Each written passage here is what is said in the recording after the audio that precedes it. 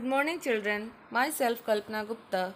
Today we will learn chapter 1 My Family of EVS subject. Let's start. A group of people who are related and live together is called a family. लोगों का समूह जो कि एक दूसरे से संबंधित होते हैं और एक दूसरे के साथ रहते हैं उसे परिवार कहते हैं a family has father mother and their children family में फादर मदर और उनके बच्चे होते हैं। The members of a family love and care for one another family में मेंबर्स एक दूसरे से प्यार करते हैं और उनकी केयर करते हैं।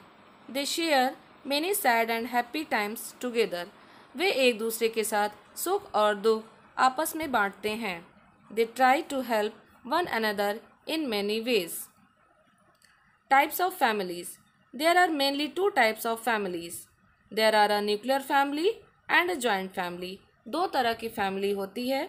एक न्यूक्लियर फैमिली और दूसरी joint family nuclear family a nuclear family consist of father mother and their children nuclear family में फादर मदर और उनके बच्चे होते हैं। अ न्यूक्लियर फैमिली में भी स्मॉल और big a small nuclear family consist of father mother and their one or two children एक स्मॉल न्यूक्लियर फैमिली में फादर मदर और उनके एक या दो बच्चे होते हैं। A big nuclear family consist of father mother and their more than two children एक बिग न्यूक्लियर फैमिली में फादर मदर और दो से अधिक बच्चे होते हैं। A joint family consist of father mother their children grandparents uncle aunt and cousins, sisters and brothers. It is also called a large family.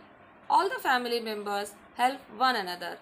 एक जॉइंट फैमिली में फादर मदर उनके बच्चे grandparents uncle aunty cousin brother और sister होते हैं इसे large family भी कहते हैं ये फैमिली मेंबर्स एक दूसरे की हेल्प करते हैं role of parents parents love their children a lot parents अपने बच्चों को बहुत प्यार करते हैं। They spend a lot of time with their children वे अपने बच्चों के साथ बहुत टाइम बिताते हैं।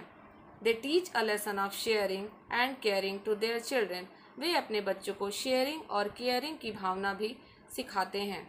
They provide many facilities to the children they help to keep the house clean and in good repair caring for the children paying the bills and planning for the future. वे अपने बच्चों को घर को साफ़ रखना और केयरिंग कर, करना और फ्यूचर की प्लानिंग करना भी सिखाते हैं। Role of grandparents the grandparents love their grandchildren very much they also protect them grandparents अपने ग्रैंड चिल्ड्रन को बहुत प्यार करते हैं। Grandparents tell exciting stories to their grandchildren grandparents अपने ग्रैंड चिल्ड्रेन को एक्साइटिंग स्टोरी भी सुनाते हैं। Role of children the children do some duties and help their parents and grandparents they can do keeping things properly in the racks sharing things with one another keeping things neat and clean doing homework quietly cleaning the house watering the plants etcetera recreation at home घर पर मनोरंजन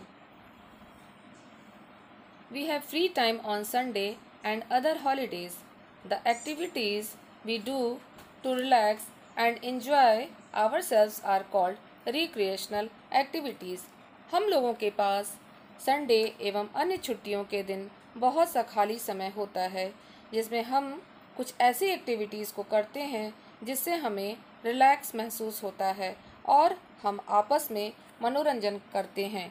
इस तरह के activities को recreational activities या मनोरंजक गतिविधियाँ कहा जाता है। We have many means of recreation at home we can watch television with our family listen to music on the radio और music system and read books to relax ourself We can also play Ludo, Scrabble and Chess. हमारे पास मनोरंजन के बहुत से संसाधन घर पर होते हैं। जैसे टेलीविज़न अपने परिवार के साथ देख सकते हैं।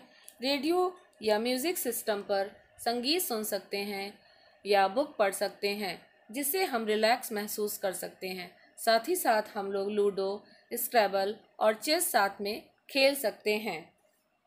During long vacations we go to hill stations we can also go to a relative place the families with grown up children may go for camping or trekking.